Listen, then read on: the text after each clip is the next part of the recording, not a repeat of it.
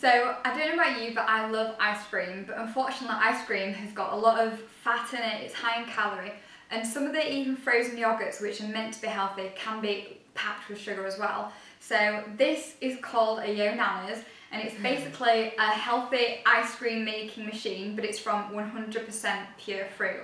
So just before, me and Sarah made a banana and dark chocolate chip ice cream. And to make this, all you do is insert one frozen banana, followed by two squares of dark chocolate and another frozen banana. And this is absolutely delicious, isn't it? It is. Um, so we're going to make a summer berry smoothie. So all you want to do is insert one frozen banana, followed by a cupful of summer berries, followed by another frozen banana. And I'll show you the end result. So all you want to do is pop the banana in and then you want to turn it on. It's a bit like a blender so it makes loads of noise and just give it a press. And then you want to add the frozen fruits. And give it a blend.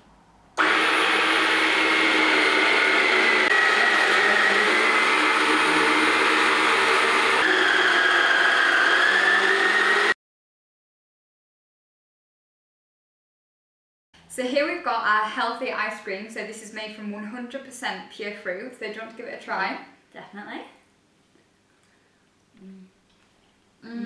What do you think? That's gorgeous. That's really nice. Tastes really creamy actually. It's great because I think it's the frozen bananas that make it so creamy.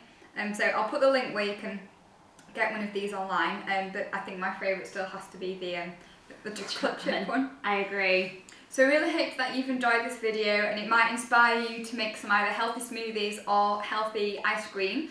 Um, if you have enjoyed this video, don't forget to give it a thumbs up and subscribe and I look forward to seeing you soon.